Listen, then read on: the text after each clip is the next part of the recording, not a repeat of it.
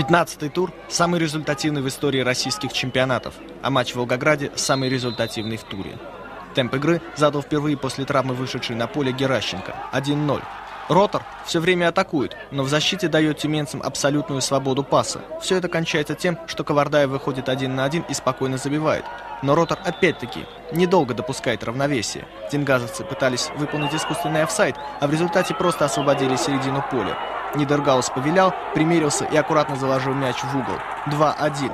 Но чувство опасности защитникам города-героя неведомо. Тюмень бурит скважины во всех направлениях. Последнюю скважину на самом интересном месте проделал Призетка.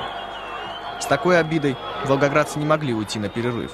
Последние минуты тайма, угловой, вынос мяча. Шмарко несколько неуклюже забросил мяч вперед, но и этого оказалось достаточно. Завязалась борьба, и Веретенников упал. Судья Вергопова просвистел пенальти, который и реализовал потерпевший Веретенников. В середине второго тайма Долбоносов сравнивает счет. Этот гол, к сожалению, остался за кадром. Тотчас Ротор организует контратаку. Гол забил Нечаев.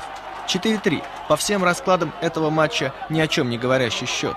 Ротор атакует больше, но Дингазу тоже кое-что удается.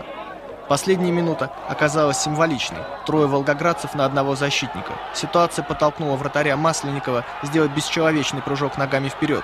Нечаев отомстил за поверженного Илюшина. Тут же Савченко сквитал этот гол. 5-4. Первая победа. Честно говоря, не очень уверенно себя чувствовал сегодня. Первая игра как-то робко очень. Ну и, наверное, передалось ребятам по защите. Спасибо нападающим забили, мы выиграли на один больше.